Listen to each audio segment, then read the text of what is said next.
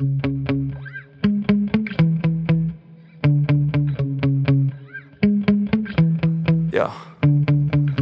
Sometimes I get so mad, there's no controlling me. My thoughts get so bad, I'm like I might grab a bat, I don't know. My wrath, my blood boils over like Oh God, here goes. I lost all feeling from my head to my toes. You said some shit that I can't let go So just stay tuned for the rest of the show. So have you ever felt betrayed? Switches how you see things Realize something needs change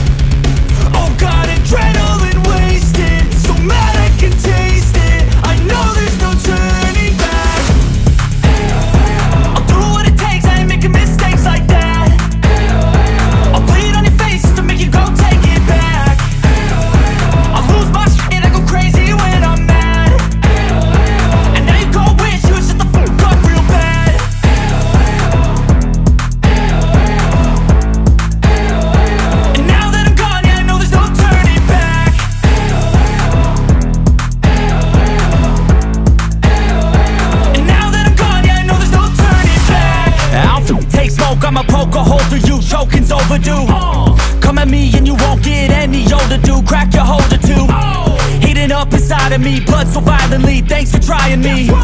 Now it's finally time to see how this rivalry becomes a dynasty